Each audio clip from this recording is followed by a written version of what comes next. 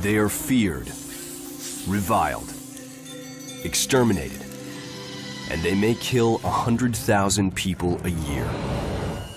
You get one whack from that, you're pushing up the daisies, you're dead. Throughout evolution, thousands of creatures have developed that most sophisticated of biological and chemical weapons venom. Chemicals that can scramble your brain signals, paralyze your muscles, blow up your blood cells, and even begin digesting you from within. I didn't realize just how awful you can feel and still survive. Where did venom come from? How did the killing delivery systems evolve? What happens inside the body of a venom victim? Now, investigators are fanning out in search of the world's most venomous animals and sampling their deadly wares in a surprising quest, not just to find out how they kill us, but how they can save us too. Rick! Rick! It's an urgent and dangerous mission to understand venom, nature's killer.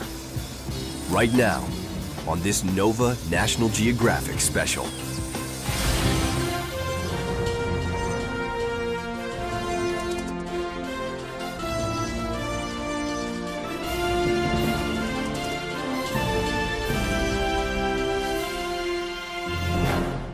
Major funding for NOVA is provided by the following.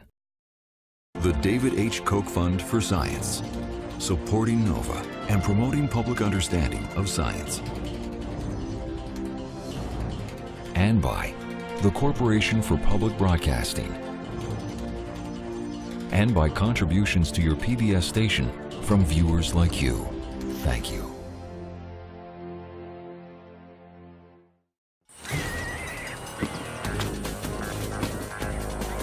In the natural world, death has a thousand faces. And when we think of deadly predators, we usually think strength, speed, size, and power.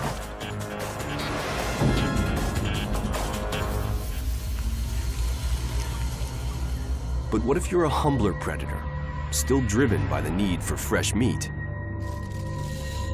But without the benefit of even arms or legs. You're small and crushable. You're slow as a snail, or fragile as a blob. You'll have to resort to subtler things, like chemical warfare, venom. There are snakes that can take down an elephant with a single bite spiders that can rot your skin, snails that can kill you in hours, and jellyfish that kill in minutes. And then, there are the people who love them.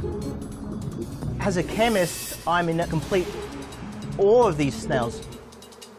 Scientists who will go anywhere and do anything, risking their lives to study these creatures and their killing chemicals. Here it goes. Look at all that venom. Excellent. But being crazy about deadly creatures is anything but crazy these days. But you are awesome. Hello, darling. Because this may be the face of our next best hope against diabetes. This against brain cancer. This against intractable pain. And this against stroke and heart failure.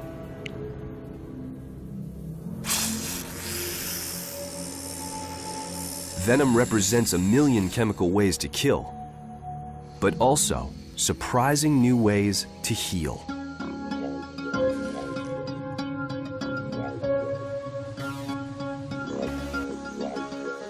Vietnam is full of venomous creatures, many still unknown to science.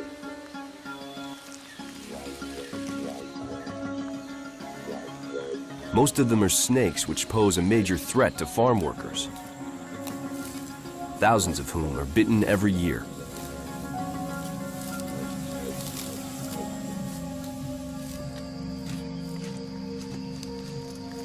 Zoltan Takacs studies toxins. For him, this is an unrivaled natural laboratory. Vietnam is a paradise for toxinologists. There are over 200 different kinds of snakes, and 25% or so of them are venomous. We have cobras, kraits, ground vipers, sea snakes, scorpions, you name it, we got it. With the help of colleague Tao Nguyen of the Vietnam Academy of Sciences, Zoltan will spend the next 10 days trying to capture as many of these dangerous snakes as he can. Snake! Oh, it's a krait. It's one of the most toxic snake in Vietnam.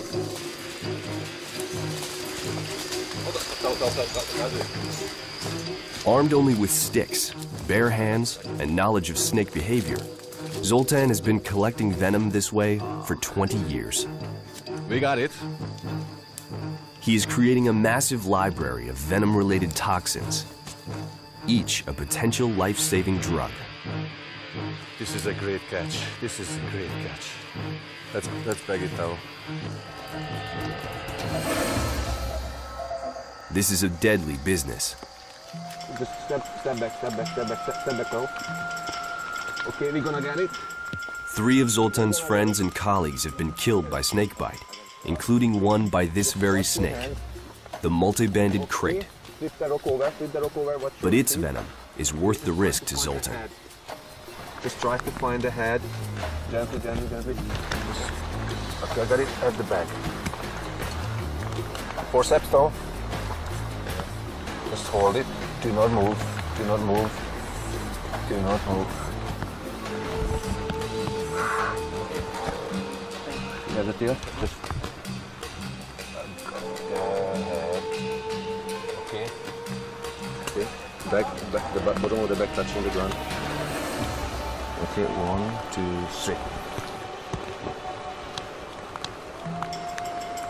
That was a good morning. Kraits can be shy. King cobras are not when cornered. Snake though!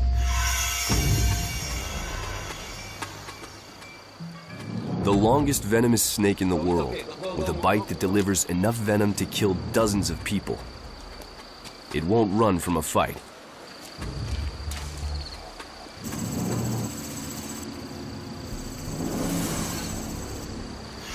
The trick is to pin the snake just behind the head, then isolate the mouth and its deadly fangs. Pull it back. Pull the snake back a little. Pull it back. Pull it back. Okay. Okay, I have it. Ah, largest venomous snake in the world. This is a great catch. That was great, sir.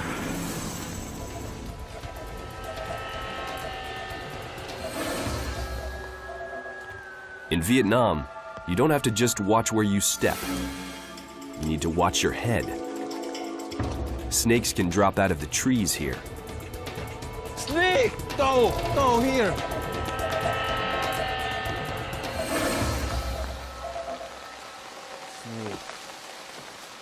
Zoltan and Tao managed to corner a rare viper hunting in the branches above. A Jerdon's pit viper. Its habits and venom, nearly a complete mystery. Absolutely cool. It's a very rare catch. I never seen this snake in the wild before. We know very little about the venom of this snake. I'm looking forward to sample it. Absolutely cool. Amazing. Zoltan wants to understand the toxins that make venom so deadly. So he takes blood samples, which carry the blueprint for the toxins, from his prizes. Of the estimated 20 million or so toxins in nature, let's say only 10,000 is known to science, and a few hundred, maybe 500 of them, has been studied in depth. Before he releases the snakes back into the wild, he takes samples of the venom itself, coaxing this viper to bite a plastic container instead of flesh. Toxins are actually proteins. Just like the proteins in our bodies, which tell all of our cells where to go, what to do, and when. But the toxins in venom are mutated and tell key cells to do all the wrong things. When it comes to getting toxins into a victim, nothing can match the weapons of the Vipers, which have the most sophisticated delivery system of any snake. When it's time to strike, the mouth opens as much as 180 degrees. The fangs snap forward and sink deep into the flesh. Powerful muscles squeeze the venom from reservoirs behind the eyes into the fangs, which act like long hypodermic needles. The toxins immediately spread throughout the body. They target mainly blood cells and nerves. If it's a viper bite, the venom usually attacks blood, destroying the cells or their ability to clot. If it's a krait or a cobra, much of the venom will home in on the nervous system, ultimately causing paralysis or convulsions. These neurotoxins work by interfering with the communication between nerve cells or between nerves and muscles. They usually cause the signals to stop, freezing the muscles. When toxins reach the diaphragm, the muscle that powers the lungs, the victim will eventually suffocate.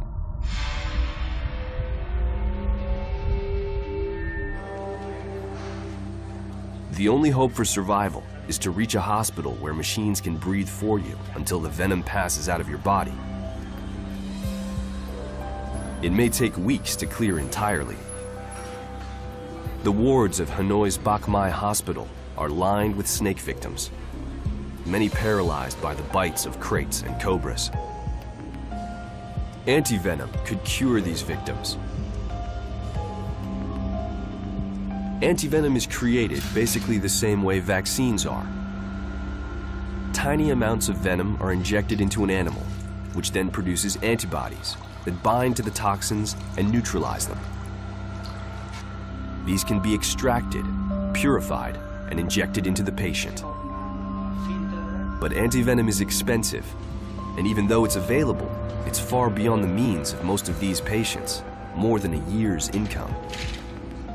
And so the paralyzed victims, fully conscious but barely able to open their eyes, simply waited out. The drooping eyes, so characteristic of neurotoxic venom, are familiar to Dr. Sean Bush, an ER physician at Loma Linda Medical Center in Southern California. Shark bite is nothing compared to snake bite. That's just a trauma. Snake bite, I mean, that's like chemical warfare. It's really complex to deal with. But unlike victims in Vietnam, Sean's patients can immediately be treated with potent antivenom. When 10 year old Jennifer Hollis came into his ER, she was already in the throes of a neurotoxic crisis. She couldn't keep her eyes open and could barely breathe. She had been bitten by a Mojave rattlesnake, renowned for its impact on the human nervous system. She was on death's doorstep. She almost died. She was hypoventilating. She wasn't breathing enough. You know, the venom has made her paralyzed. She can barely even look up. Sean quickly administered the antivenom, which began neutralizing the venom immediately. And we were just about to put her on life support when we gave her the antivenom. And once it kicked in, it was like a miracle drug. It completely turned her around, and she could open her eyes, she could breathe, How do you feel, Jennifer? and she uh, was happy, normal 10 year old. She's looking a lot better now. Smile, Dan, you're on camera. Can you smile? You look a lot better. Sure do. But neurotoxins can have a different effect. A bizarre spasming of muscles so severe, it looks as though something is squirming under the skin. This happens when, instead of shutting down, the neurotoxins set nerve cells on full fire, resulting in uncontrollable muscle contractions This is myokymia. That's the muscles firing underneath his skin in an uncoordinated fashion, and it's just twitching uncontrollably. You know, I mean, this guy's an extremist. He's he's sick unto death, basically.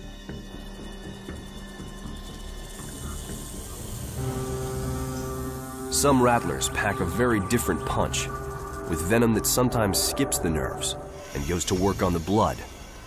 It's good to see you It's good to see you too.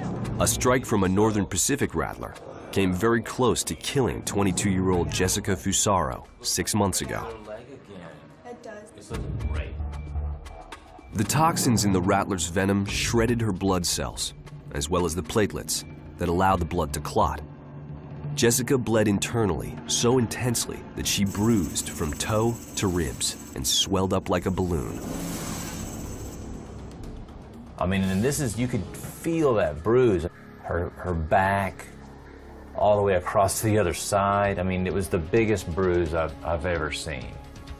So if she doesn't have enough blood, she can't oxygenate her tissues, she would eventually have bled out and would have died.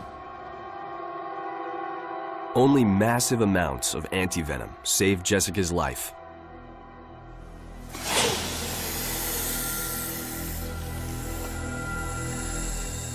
Not all snakes are highly venomous. The majority of the world's 2,800 species manage to be effective predators without it. From the tiny blind snake to the massive anaconda, which squeezes its prey to death. But one family of predators is so dependent on venom that virtually all of its tens of thousands of species are toxic. The spiders. Most don't have fangs big enough or strong enough to bite humans. Among the exceptions are the Australian funnel web spider, the Brazilian wandering spider, and the black widow. Their fangs are bigger, more menacing. Needle sharp injectors that deliver venom potent enough to kill humans. Usually only the very young and the very old.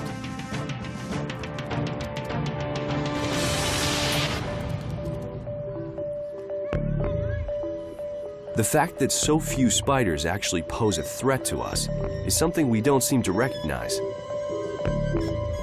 Fear of spiders remains stubbornly with us, deep in our subconscious.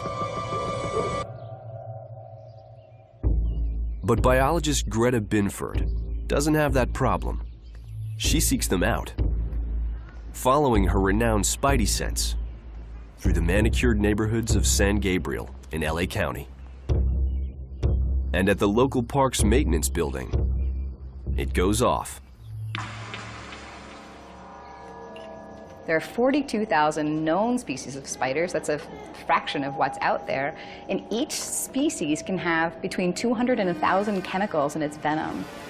The number of, of different venom chemicals that are contained in spiders is just mind blowing. Hi. Can I get in where the weed blowers are? Thank you.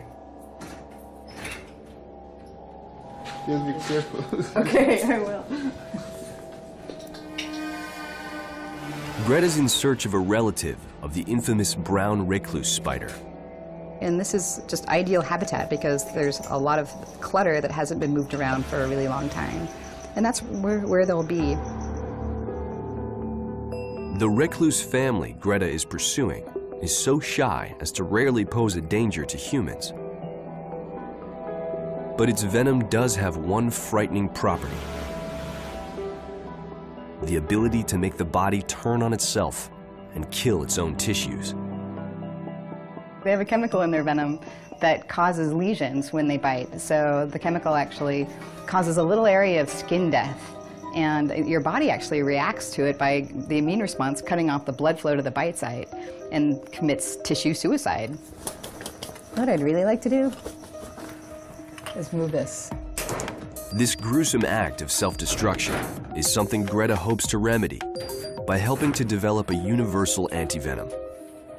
But first she has to collect the venom of each of the nearly 100 brown recluse cousins found around the world including the type found here. There it is. it's a male, a mature male. Oh, he's beautiful. Got it. So if he's here, that means there are others here. These spiders actually came from South America, Oh yeah, there's a big one in here. stowaways in boxes of costumes that came with a traveling Shakespeare troupe in the 1950s. Pretty nice web. That is just gorgeous. Trust me on this one. Oh, there's one. It's a little female. Oh, she's getting away. There she is. Oh, beautiful. Look at that pose. Got her. Greta has brought brown recluse spiders from all over the world to her lab. Some of them have been here for 10 years, contributing venom. But they don't seem to harbor any grudges. I've been working with these animals for about 10 years and I've never been bitten. And if anyone in the world deserves to be bitten, it would be me. I would be the number one on the hit list for brown recluse bites because I electrically shock them. I've, I've crawled around in caves and collected them from all over the world. Today, Greta gently puts one of the spiders she collected in LA to sleep with carbon dioxide. So there's a, a flow of CO2 coming through, and uh, yeah, she just runs out of oxygen. Greta will stimulate the sleeping spider with electricity in order to coax venom from its glands. We clamp it with a little bit of salt water on a sponge to improve conductance of the electricity. Sounds kind of medieval. Okay, right now I'm rinsing her fangs because sometimes they have little bits of like bug bits. And we want a pure venom sample. And this is a, a special made vomit vacuum in my left hand. I'll capture the venom in this glass capillary and I've got the vomit vacuum on the spider's mouth and I'm stepping on the foot pedal now. And you'll see about 12 volts of electricity are going through the spider and that causes all the muscles to contract, including the venom gland. Here it goes. Look at all that venom. Excellent. Here you go. Thank you, spider. She'll wake up in five minutes and be just fine. Somewhere in this tiny amount of venom, with its hundreds of toxins, is the one that causes human skin to self destruct. With the venoms she's collected, Greta hopes to help generate an anti-venom that will work against every type of brown spider in the world, Got her. preventing thousands of painful, disfiguring bites that happen every year.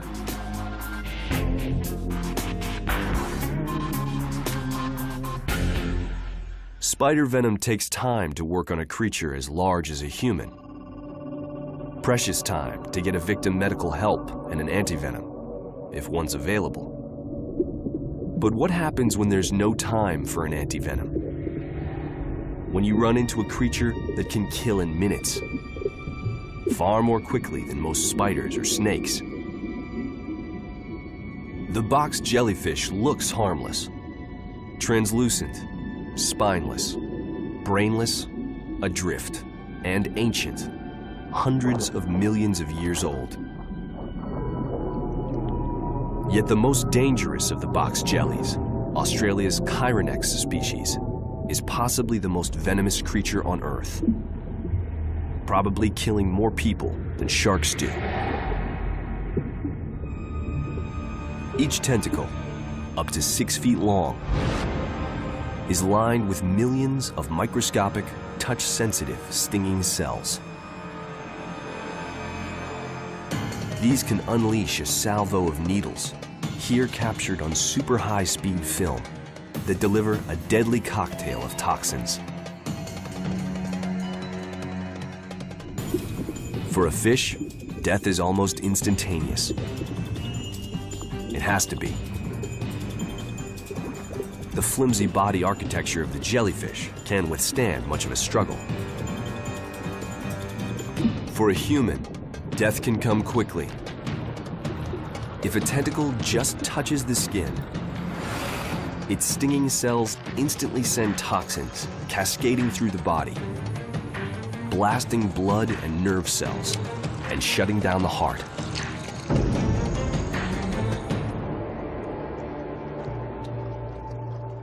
The box jellies, almost the most primitive animal on the planet, but you can kill an adult man in 5 to 20 minutes. When you're using venom as a stratagem of hunting, um, all bets are off. Box jelly venom works so quickly that it might seem impossible to find a remedy. An instant venom blocker that can be given on the spot. But biochemist Angel Yanagihara is determined to try. Tonight, she and her team are hunting the Australian box jelly's less deadly but still dangerous Hawaiian cousin in search of a plentiful supply of its tentacles. The driver of all of our research is access to fresh live animals loaded with these stinging cells so we can purify the venom um, in its uh, intact biological state. She and her team work till daybreak, collecting the tentacles to take back to the lab for analysis. By deconstructing the venom, Angel hopes to find a substance that will not simply treat the symptoms, but stop the toxin in its tracks. If she can develop a venom blocker, it will be a highly personal victory. 13 years ago, just finishing up her PhD in biochemistry, she swam into a deadly biochemical assault.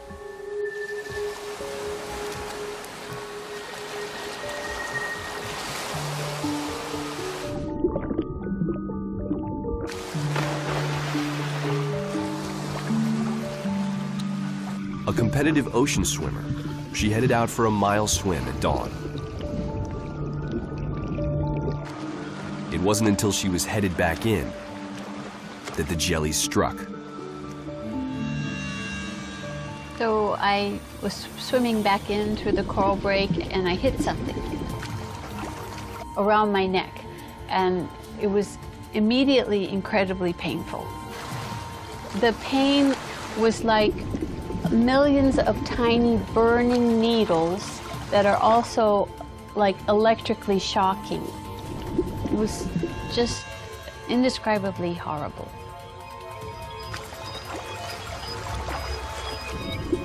In agony, barely able to breathe, Angel somehow made it back to shore and managed to find help. Her ordeal had just begun.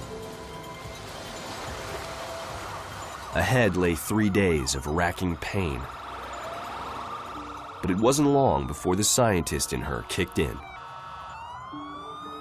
I'm a biochemist, so I don't get mad. I do a literature search. The search revealed that little was known about box jelly venom, except how quickly it killed. Today, Angel knows exactly how box jelly venom works and demonstrates using a drop of her own blood.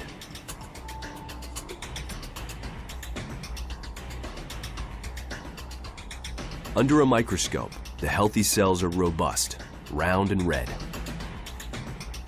Then, she adds a drop of the venom. Angel is watching what happens to the shape of the cells. Now the red blood cells are swelling. What's also happening right now is that the white blood cells have thrown out projections and are starting to swell as well. The platelets are also rapidly responding. Toxins are puncturing the cells, allowing the hemoglobin to erupt right out of them. Hemoglobin is what carries oxygen, essential for life. In only minutes, the cells have emptied. The blood is a lifeless soup. Look at this now. I mean, that's we're beyond death. I mean, there's no way we can get back from there. The challenge right now is to be able to intervene in this train wreck.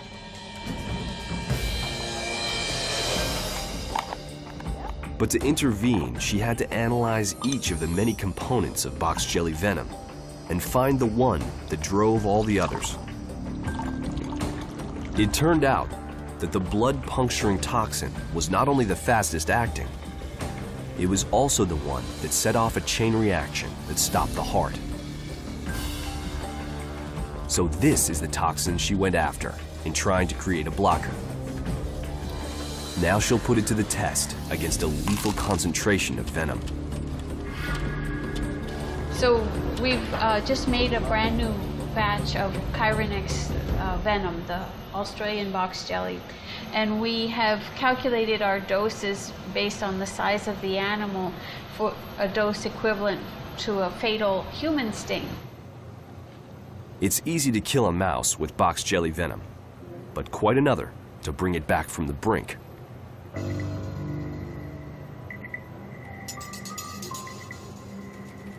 First, the mouse is anesthetized.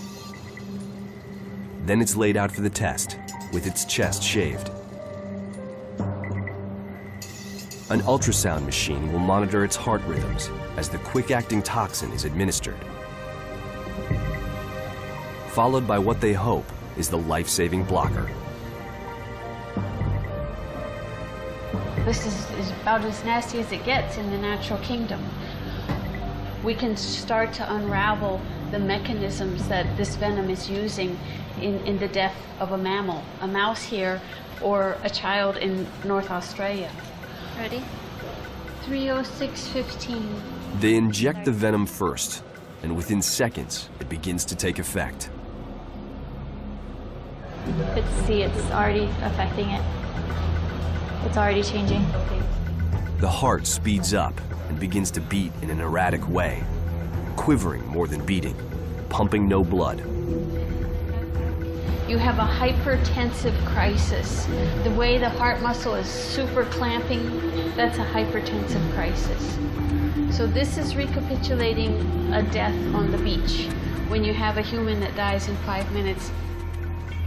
Until now, there would be no way for a mouse or a human to recover from this much venom. But now Angel administers the trial blocker.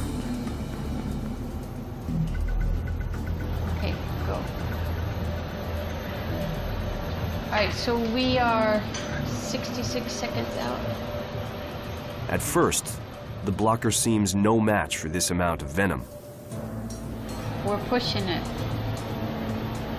He's having a hard time, but sort of on the edge. We're hard to call it right now. I mean, there definitely is a positive effect by the blocker, but will it be enough to save this mouse? But gradually, the heart shows signs of returning to normal function. We don't look like we're on death's door, so we're good. Finally, the heart is recovering better than they could have expected. Great. So you can see the, the Nine. heart. Oh my god.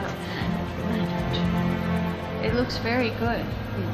We see normal heart function at this point. Well, that's fabulous. We, we've saved a mouse. So he's alive. But can this same blocker save a person from a venom so toxic and fast acting? Angel is well on the way to creating a breakthrough remedy. And soon, perhaps, the terror of the box jelly may have lost its sting.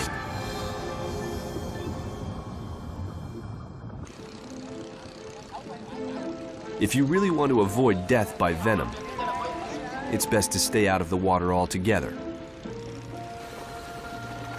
A startling number of the top 10 most venomous creatures live in our oceans. The ones that kill you in minutes, whose venom, ounce for ounce, is some of the most powerful.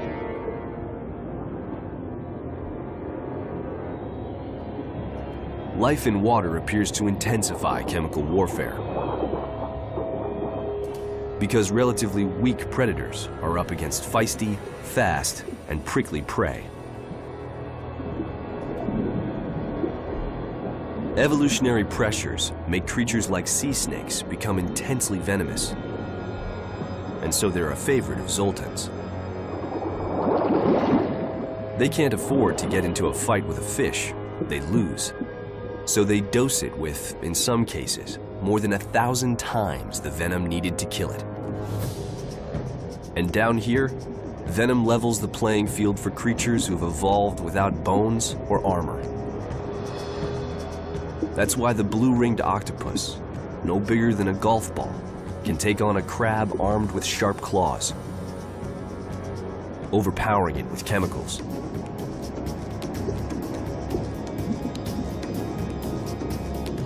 And what about a creature that is painfully slow, but likes to eat quick little fish? The lovely and lethal cone snail does it by firing harpoons, full of toxins so powerful that Homeland Security has studied their potential as bioweapons.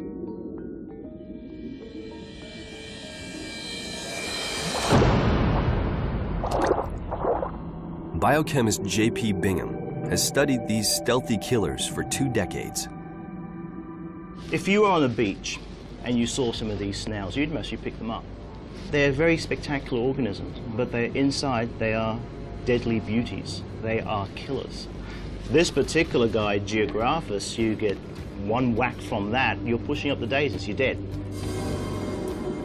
For a long time, no one knew for sure that cone snails were killers. Sometimes victims would be found dead on a beach with no apparent cause, perhaps just a pocket full of shells. But in 1936, an unfortunate Australian picked up a cone snail to show to his friends. And what he did, he took his knife and started to scrape the shell, the barnacles or the uh, uh, covering on the shell.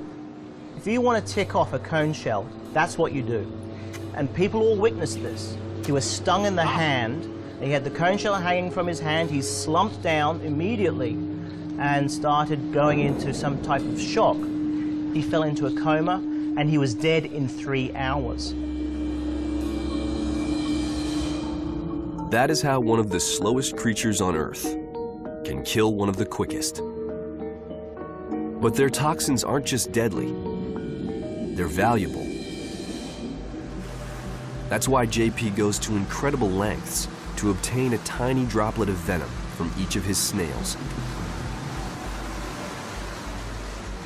Every couple of weeks, JP and his research crew head out to a secret location off the coast of Hawaii, where they keep some of these strange killers.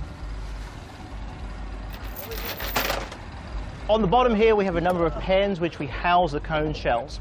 We've collected them from various reefs and locations and bring them centrally here. We've become glorified snail farmers. So basically what we're going to do is then bring these snails back to the laboratory and actually milk them for their toxin.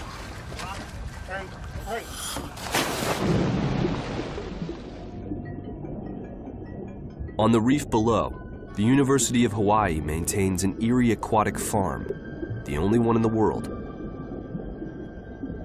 because the snail's deadly poison is pure gold medically.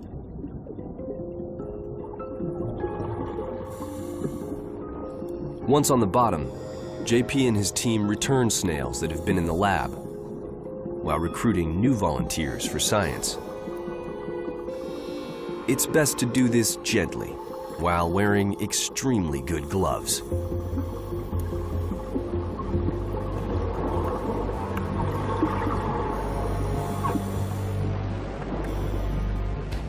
Back at the lab, the delicate process of obtaining the snail's venom begins. So we're ready to milk the cone shell and what we're going to do, we're going to use this uh, test tube to allow us to collect the venom. So the cone shell is going to be enticed to shoot through the fish and embed its hypodermic needle into this particular membrane. Okay, Jeffrey, you ready? Can you give me the fish, please? Sure. Cone snail venom contains many toxins. JP and his team have analyzed a handful so far out of an estimated 100,000 across the different species. Got him. And let's let's go for milking.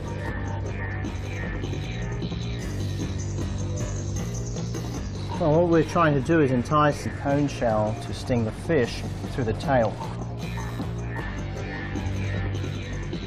Has very poor eyesight, so what happens, the cone shell homes in on the smell of the fish, feels the texture of the flesh, and then shoots through the fish into the membrane. Okay, the cone shell is now ready to inject. And up, we've got it now. Okay, so we've now tethered to the container, scissors. We are now going to sever the harpoon from the cone shell and the container.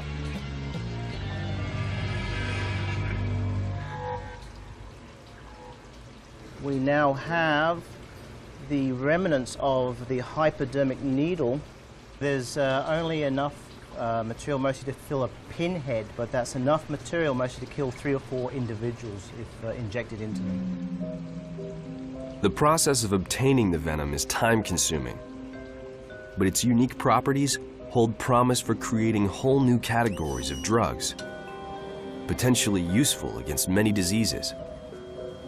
For example, when isolated, one toxin in cone snail venom showed remarkable capacity to block pain. That toxin became the key to creating a painkiller 1,000 times more powerful than morphine. And here we have the world supply of uh, Conus obscurus milk venom. In here, we may have a new potential lead to cure cancer. We may have the ability to affect Alzheimer's patients and their memory loss uh, and to promote uh, pain killing. As a chemist, I'm in a, a complete awe of these snails. For me to make those toxins synthetically would take me thousands of years of labor, just physically thousands of years. These snails make it every day, and they're at our fingertips. But snails certainly haven't cornered the market on healing toxins. The roster of deadly lifesavers is growing day by day. Scorpions are now showing promise in treating epilepsy and brain cancer. Spider venom in controlling heart arrhythmias. Komodo dragons in lowering blood pressure. And vipers in the battle against the devastation of stroke, diabetes, kidney disease, and heart failure. But why is venom, filled with deadly toxins, now a leading contender for life-saving drugs on so many medical fronts? Toxins are just proteins, almost chemically identical to the good proteins in our bodies that keep everything in working order by telling all of our cells where to go, what to do, and when. The proteins in venom are just different enough to wreak havoc. By telling nerves to shut down or fire out of control.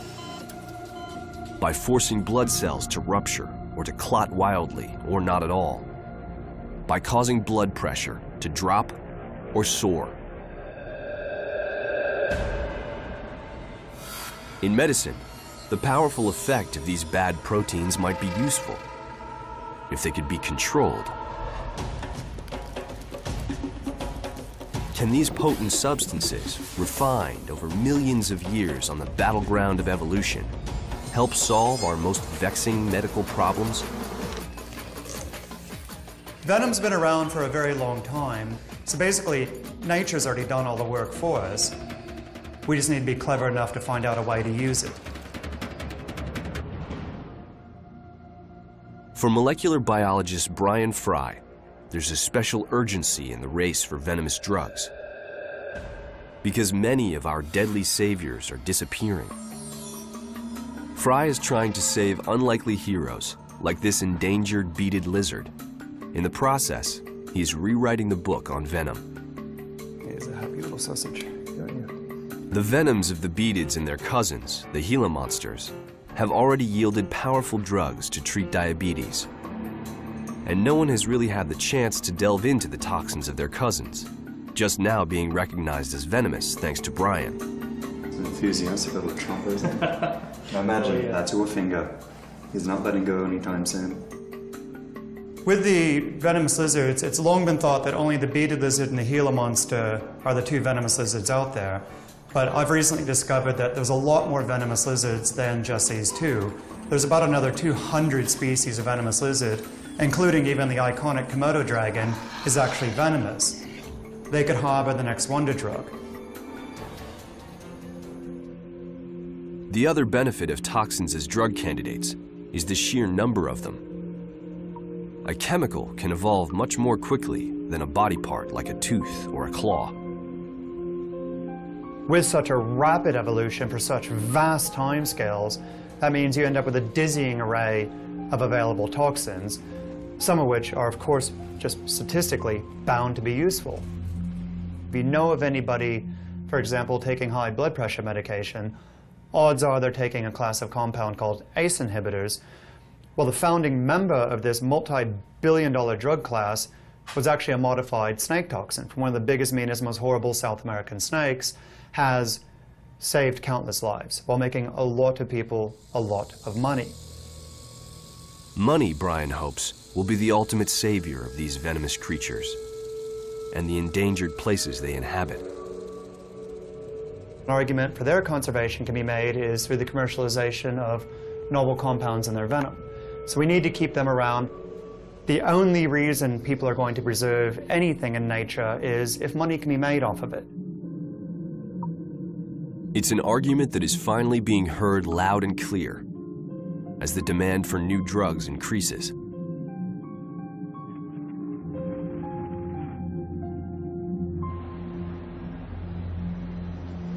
In his lab in Chicago, Zoltan Takacs checks up on his toxic samples, brought from steamy forests to a frosty sub-zero freezer for safekeeping. This is my toxin DNA library. Have more than 1,200 samples from all over the world. Sea snakes, cobras, kraits, vipers, you name it, it's here. And this is actually very, very valuable. This is a lifetime work. I have samples back from the high school, so it's a long time. And this is the samples back from Vietnam. This is like a Christmas gift. You know it's cool, but you don't know what's inside. And right now, I'm gonna isolate the DNA and just reveal that information. Reveal that evolutionary information and use that to build toxin libraries to screen for new drug leads. To find out what's inside his latest sample, Zoltan and a graduate student, Katerina Rusik, put the DNA through a sequencing machine to find out the letters that make up its genetic code. This is the DNA sequence of the toxins. All of these letters, C, T, C, G, G, A, T, those are the letters which tell the toxin how to kill you. That's very powerful information. And what we're doing here, we change the letters around a little bit, tweak it to make the toxin to save your life. Across the street at the University of Chicago Medical Center, rattlesnake venom, chemically altered to make it safe, is about to save the life not of a victim of snakebite, but of a heart attack. Morning. Today, for every one person who dies from snakebite each year, at least 350 are being treated with drugs rooted in snake venom. Cardiac surgeon Atman Shah has been called in to perform a procedure on a patient who has a massive blockage in the vessels leading to his heart. And he'll be depending on rattlesnake venom to make the procedure a success. Put the catheter into the right common femoral artery. In terms of patients who come to the emergency room with a heart attack, most of those heart attacks are caused by a platelet blockage in the artery. Can you start recording now, please, Danielle? He'll be busting that blockage wide open with a stent. But it won't stay open if the blood's normal clotting factors kick in. That's where the rattler venom, called Integrilin, comes in. So when there's a foreign body in the bloodstream, platelets want to stick together and form clots. What integrin will do is it'll prevent receptors on the platelets from linking with other receptors on other platelets and forming a very large clot. 11.5 ml. Something that would cause uh, bleeding and potentially uh, hemorrhage with a snake bite we can control, basically cause controlled bleeding inside the vessel. Together, the stent and the venom clear the vessel, and the circulation through the heart is dramatically restored. Has probably saved countless lives in using it compared to patients who haven't received it. Countless more lives hang in the balance. There are potentially 20 million toxins in nature. Only a few hundred have been studied in depth. From these, a dozen drugs have been approved, and dozens more are in clinical trials. That's a million plus drugs slithering, skittering, and skulking around out there. No wonder the people who pursue these creatures are so passionate about understanding them and conserving them. I love exploring the unknown and I love to seeing beauty of nature. And when you get a snake from the rainforest, you take it back to the lab and you understand something what nature have been doing for millions of years. I think that's a very cool moment. Venoms are, are just a, a gold mine of chemistry. It's just rich for exploration and discovery. But then what also struck my passion about it is, uh, you know, it's going extinct before we know what's in there. They're a resource. If we wipe them out, then that means you could be destroying the next component that might have made you a billion dollars or saved your grandmother's life. But we've only started to open that, that black box of what venom can do to help us. It's powerful stuff. It can kill you, but it can also save your life.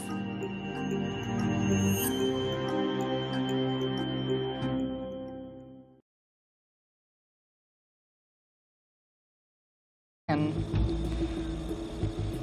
I got the vomit vacuum on the spider's mouth, and I'm stepping on the foot pedal now. You'll see about 12 volts of electricity are going through the spider, and that causes all the muscles to contract, including the venom gland. Here it goes. Look at all that venom. Excellent. Here you go. Thank you, spider. She'll wake up in five minutes and be just fine.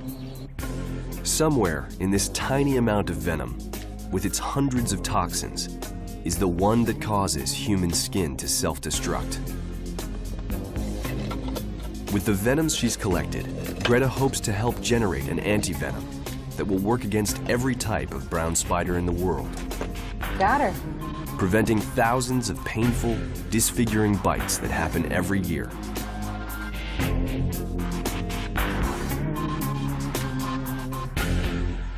Spider venom takes time to work on a creature as large as a human. Precious time to get a victim medical help and an antivenom, if one's available. But what happens when there's no time for an antivenom? When you run into a creature that can kill in minutes, far more quickly than most spiders or snakes. The box jellyfish looks harmless, translucent, spineless, brainless, adrift, and ancient, hundreds of millions of years old. Yet the most dangerous of the box jellies, Australia's Chironex species, is possibly the most venomous creature on Earth, probably killing more people than sharks do. Each tentacle, up to six feet long, is lined with millions of microscopic, touch-sensitive stinging cells. These can unleash a salvo of needles, here captured on super high-speed film, that deliver a deadly cocktail of toxins. For a fish, death is almost instantaneous. It has to be. The flimsy body architecture of the jellyfish can withstand much of a struggle. For a human, death can come quickly.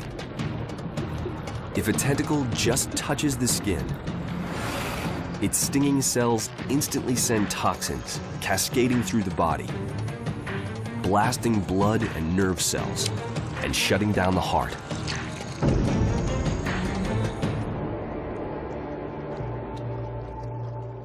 statistically bound to be useful. If you know of anybody, for example, taking high blood pressure medication, odds are they're taking a class of compound called ACE inhibitors. Well, the founding member of this multi-billion dollar drug class was actually a modified snake toxin from one of the biggest, meanest, most horrible South American snakes, has saved countless lives while making a lot of people a lot of money. Money, Brian hopes, will be the ultimate savior of these venomous creatures and the endangered places they inhabit. An argument for their conservation can be made is through the commercialization of novel compounds in their venom. So we need to keep them around. The only reason people are going to preserve anything in nature is if money can be made off of it. It's an argument that is finally being heard loud and clear as the demand for new drugs increases.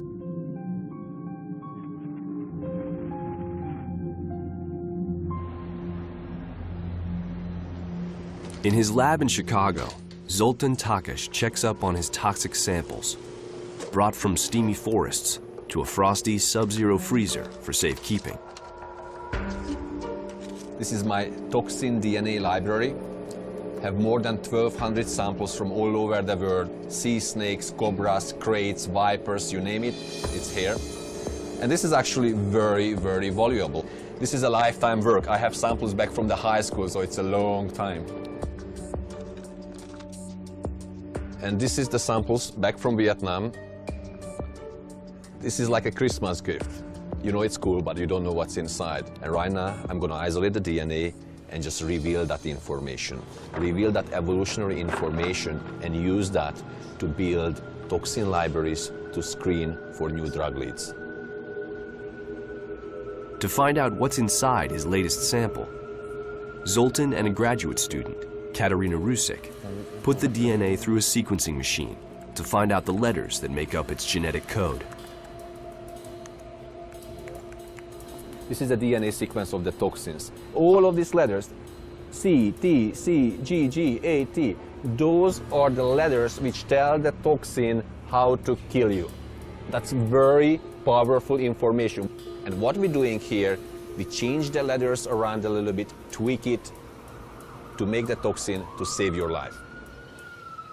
Across the street at the University of Chicago Medical Center, rattlesnake venom, chemically altered to make it safe, is about to save the life not of a victim of snakebite, but of a heart attack. Morning. Today, for every one person who dies from snakebite each year, at least 350 are being that will not simply treat the symptoms, but stop the toxin in its tracks. If she can develop a venom blocker, it will be a highly personal victory. 13 years ago, just finishing up her PhD in biochemistry, she swam into a deadly biochemical assault.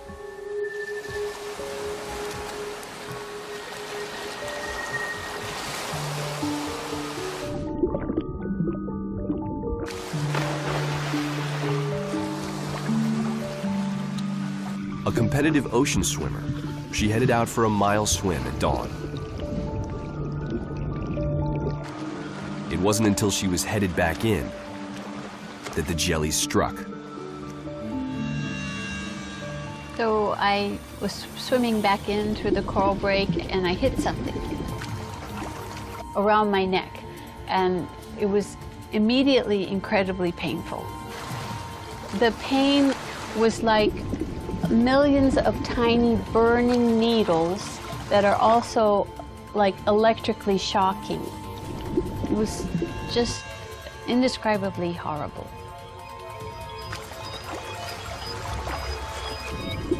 In agony, barely able to breathe, Angel somehow made it back to shore and managed to find help. Her ordeal had just begun. Ahead lay three days of racking pain. But it wasn't long before the scientist in her kicked in. I'm a biochemist, so I don't get mad. I do a literature search.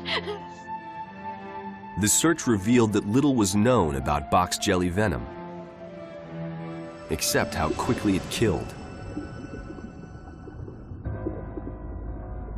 Today, Angel knows exactly how box jelly venom works and demonstrates using a drop of her own blood.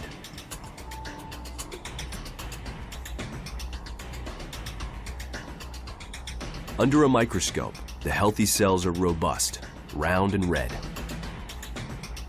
Then, she adds a drop of the venom. Angel is watching what happens to the shape of the cells now the red blood cells are swelling. What's also happening right now is that the white blood cells have thrown out projections and are starting to swell as well. The platelets are also rapidly responding. Toxins are puncturing the cells, allowing the hemoglobin to erupt right out of them. Hemoglobin is what enough to wreak havoc. By telling nerves to shut down or fire out of control.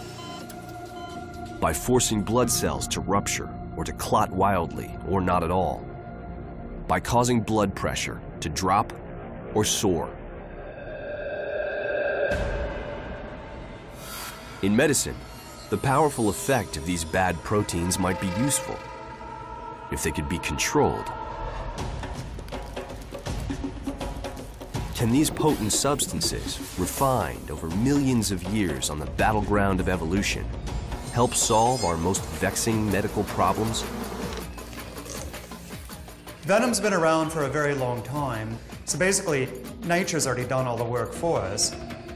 We just need to be clever enough to find out a way to use it. For molecular biologist Bryan Fry, there's a special urgency in the race for venomous drugs. Because many of our deadly saviors are disappearing. Fry is trying to save unlikely heroes, like this endangered beaded lizard.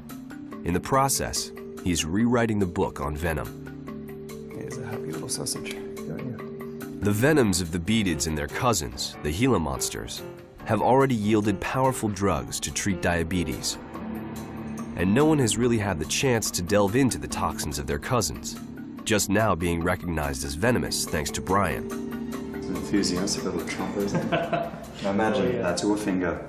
He's not letting go anytime soon. With the venomous lizards, it's long been thought that only the beaded lizard and the Gila monster are the two venomous lizards out there. But I've recently discovered that there's a lot more venomous lizards than just these two.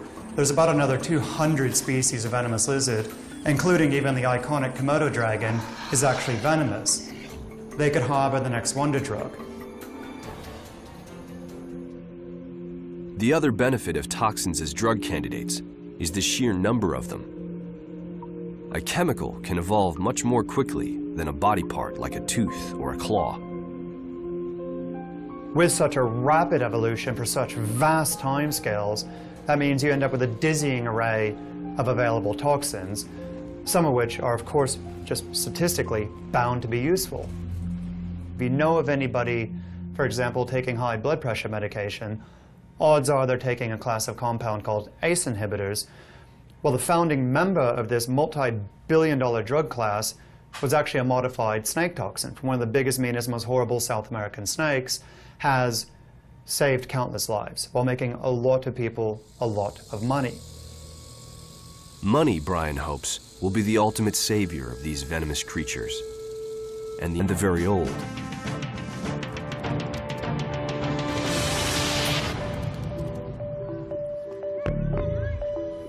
The fact that so few spiders actually pose a threat to us is something we don't seem to recognize. Fear of spiders remains stubbornly with us, deep in our subconscious. But biologist Greta Binford doesn't have that problem. She seeks them out, following her renowned spidey sense through the manicured neighborhoods of San Gabriel in LA County. And at the local park's maintenance building, it goes off. There are 42,000 known species of spiders. That's a fraction of what's out there. And each species can have between 200 and 1,000 chemicals in its venom.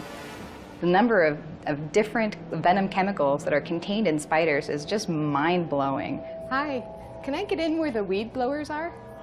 Thank you. Just be careful. Okay, I will. Greta's in search of a relative of the infamous brown recluse spider. And this is just ideal habitat because there's a lot of clutter that hasn't been moved around for a really long time. And that's where, where they'll be.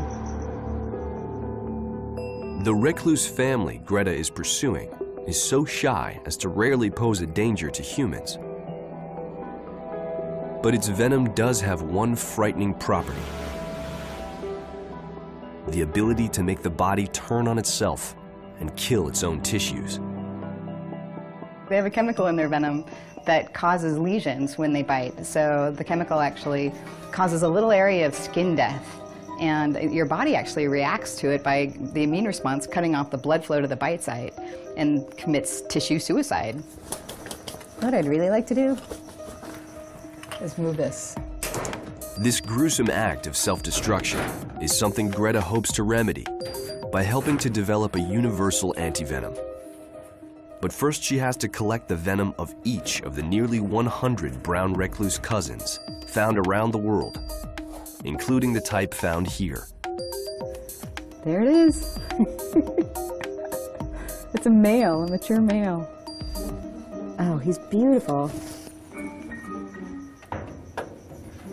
Got it. So if he's here, that means there are others here. These spiders actually came from South America, Oh yeah, there's a big one in here. stowaways in boxes of costumes that came with a traveling Shakespeare troupe in the 1950s. Pretty nice web. Once on the bottom, JP and his team return snails that have been in the lab, while recruiting new volunteers for science. It's best to do this gently, while wearing extremely good gloves.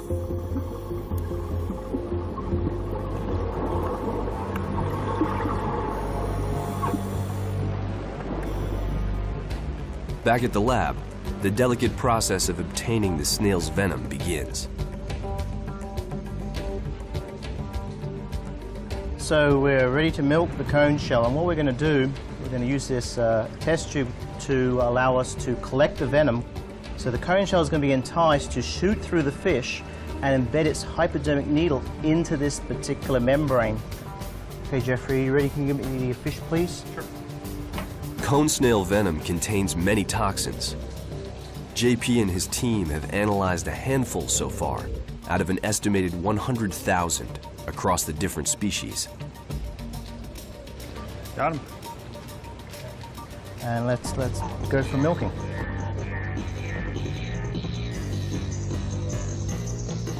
Well, what we're trying to do is entice the cone shell to sting the fish through the tail.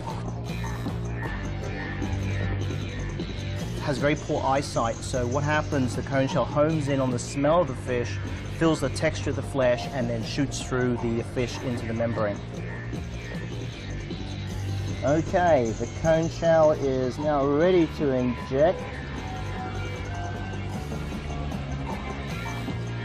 And up, we've got it now. Okay, so we've now tethered to the container, scissors. We're now going to sever the harpoon from the cone shell and the container.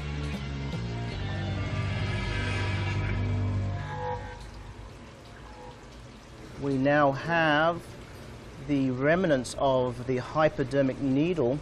There's uh, only enough uh, material mostly to fill a pinhead, but that's enough material mostly to kill three or four individuals if uh, injected into them. The process of obtaining the venom is time consuming, but its unique properties hold promise for creating whole new categories of drugs, potentially useful against many diseases. For example, when isolated, one toxin in cone snail venom showed remarkable capacity to block pain. That toxin became the key to creating a painkiller 1,000 times more powerful than morphine. And here we have the world supply of uh, Conus obscurus milk venom. In here, we may have a new potential lead to... It was like millions of tiny burning needles that are also like electrically shocking. It was just indescribably horrible.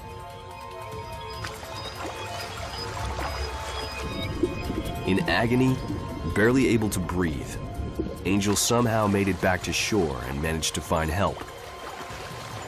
Her ordeal had just begun. Ahead lay three days of racking pain. But it wasn't long before the scientist in her kicked in. I'm a biochemist, so I don't get mad. I do a literature search. The search revealed that little was known about box jelly venom, except how quickly it killed.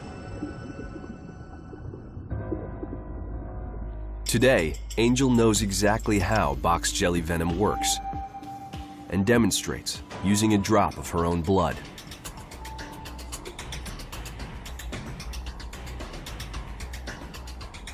Under a microscope, the healthy cells are robust, round and red. Then, she adds a drop of the venom. Angel is watching what happens to the shape of the cells. Now the red blood cells are swelling. What's also happening right now is that the white blood cells have thrown out projections and are starting to swell as well. The platelets are also rapidly responding. Toxins are puncturing the cells, allowing the hemoglobin to erupt right out of them. Hemoglobin is what carries oxygen, essential for life. In only minutes, the cells have emptied. The blood is a lifeless soup. Look at this now. I mean, that's we're beyond death. I mean, there's no way we can get back from there. The challenge right now is to be able to intervene in this train wreck.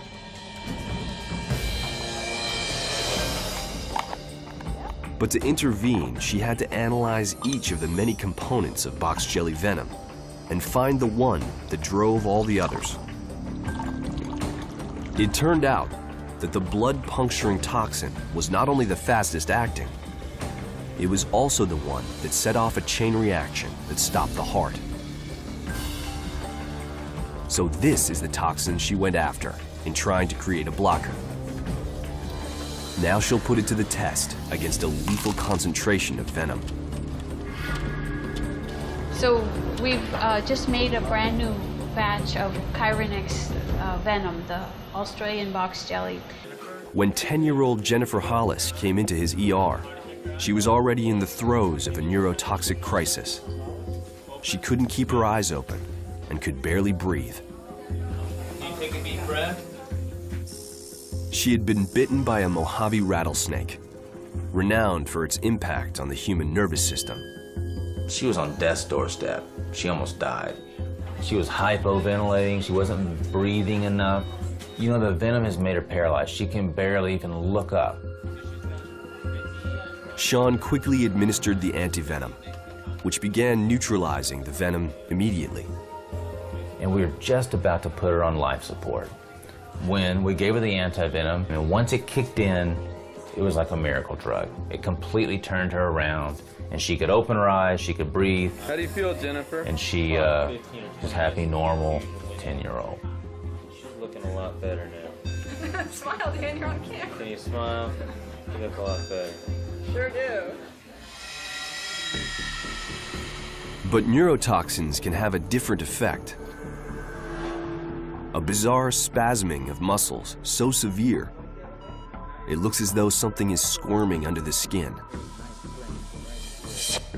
This happens when, instead of shutting down, the neurotoxins set nerve cells on full fire, resulting in uncontrollable muscle contractions. This is myokymia. That's the muscles firing underneath his skin in an uncoordinated fashion, and it's just twitching uncontrollably. You know, what I mean, this guy's an extremist. He's he's sick unto death, basically.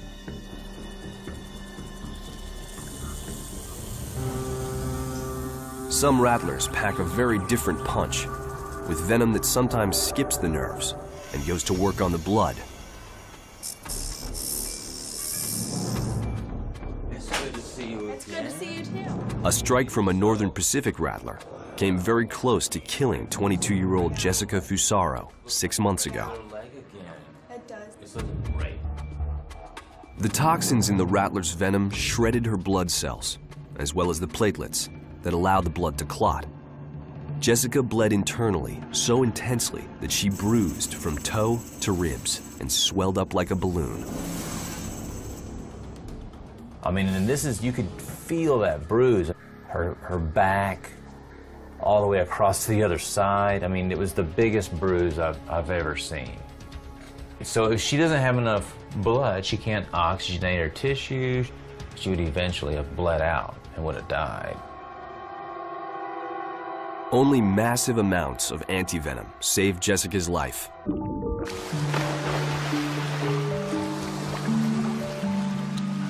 A competitive ocean swimmer, she headed out for a mile swim at dawn. It wasn't until she was headed back in that the jelly struck. So I was swimming back in through the coral break and I hit something around my neck. And it was immediately incredibly painful. The pain was like millions of tiny burning needles that are also like electrically shocking. It was just indescribably horrible.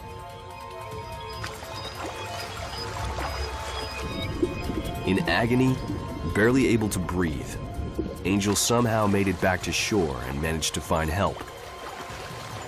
Her ordeal had just begun. Ahead lay three days of racking pain. But it wasn't long before the scientist in her kicked in. I'm a biochemist, so I don't get mad. I do a literature search. The search revealed that little was known about box jelly venom, except how quickly it killed. Today, Angel knows exactly how box jelly venom works and demonstrates using a drop of her own blood.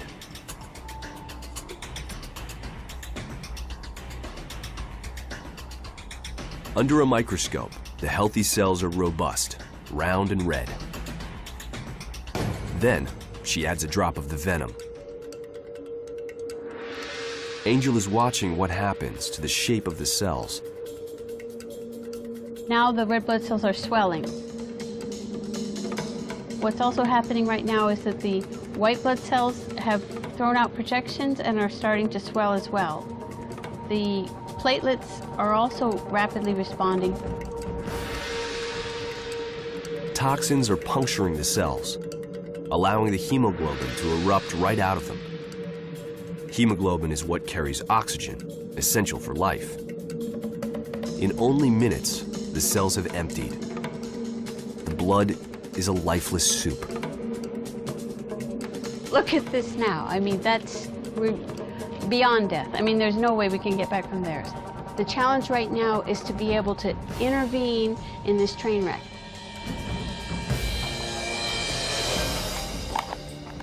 But to intervene, she had to analyze each of the many components of box jelly venom and find the one that drove all. Each species can have between 200 and 1,000 chemicals in its venom. The number of, of different venom chemicals that are contained in spiders is just mind blowing. Hi, can I get in where the weed blowers are? Thank you. Just be careful. Okay, I will. Greta's in search of a relative of the infamous brown recluse spider. And this is just ideal habitat because there's a lot of clutter that hasn't been moved around for a really long time. And that's where, where they'll be. The recluse family Greta is pursuing is so shy as to rarely pose a danger to humans. But its venom does have one frightening property the ability to make the body turn on itself and kill its own tissues. They have a chemical in their venom that causes lesions when they bite. So the chemical actually causes a little area of skin death. And your body actually reacts to it by the immune response cutting off the blood flow to the bite site and commits tissue suicide. What I'd really like to do is move this. This gruesome act of self-destruction is something Greta hopes to remedy by helping to develop a universal antivenom. But first she has to collect the venom of each of the nearly 100 brown recluse cousins found around the world, including the type found here. There it is. it's a male, a mature male. Oh, he's beautiful. Got it. So if he's here, that means there are others here. These spiders actually came from South America, Oh yeah, there's a big one in here. stowaways in boxes of costumes that came with a traveling Shakespeare troupe in the 1950s. Pretty nice web. That is just gorgeous. Trust me on this one. Oh, there's one. It's a little female. Oh, she's getting away. There she is. Oh, beautiful. Look at that pose. Got her. Greta has brought brown recluse spiders from all over the world to her lab. Some of them have been here for 10 years, contributing venom. But they don't seem to harbor any grudges. I've been working with these animals for about 10 years and I've never been bitten. And if anyone in the world deserves to be bitten, it would be me. I would be the number one on the hit list for brown recluse bites because I electrically shock them. I've, I've crawled around in caves and collected them from all over the world. Today, Greta gently puts one of the spiders she... Oh, we've got it now. Okay, so it's now tethered to the container. Scissors. We are now going to sever the harpoon from the cone shell and the container.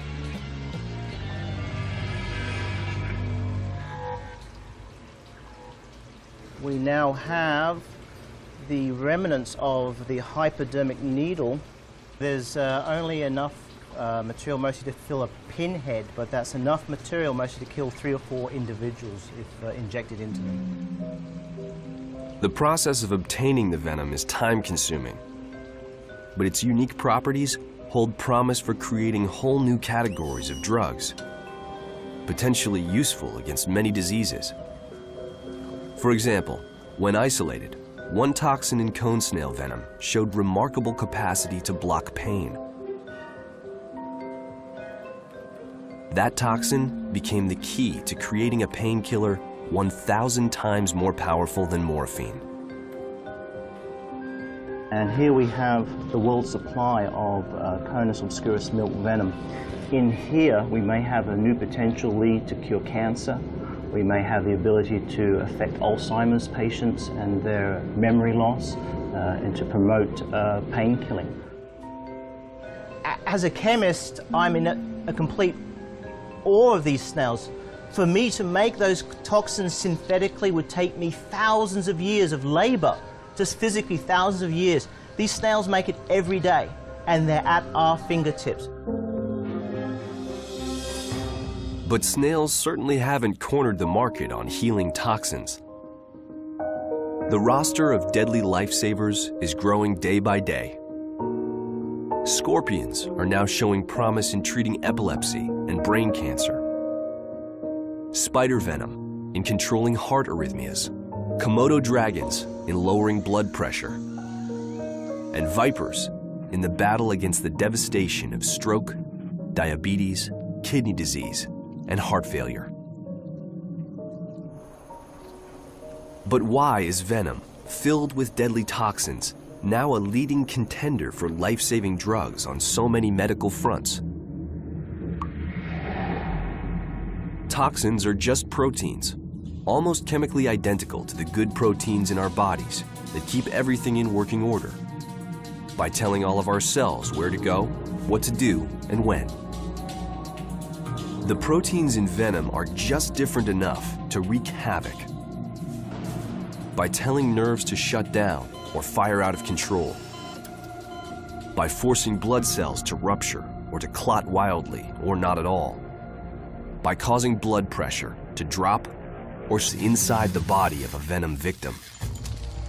Now, investigators are fanning out in search of the world's most venomous animals and sampling their deadly wares in a surprising quest, not just to find out how they kill us, but how they can save us too. Three, It's an urgent and dangerous mission to understand venom, nature's killer. Right now, on this Nova National Geographic special.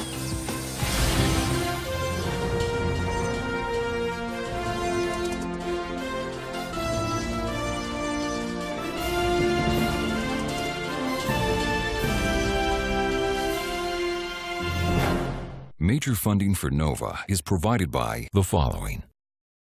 The David H. Koch Fund for Science, supporting NOVA and promoting public understanding of science.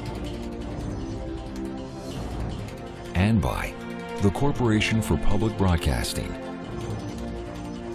And by contributions to your PBS station from viewers like you. Thank you.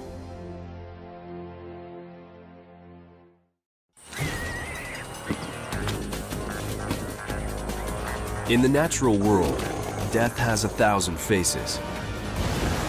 And when we think of deadly predators, we usually think strength, speed, size, and power.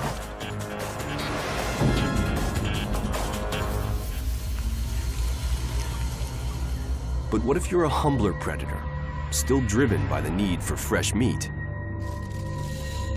but without the benefit of even arms or legs. You're small and crushable.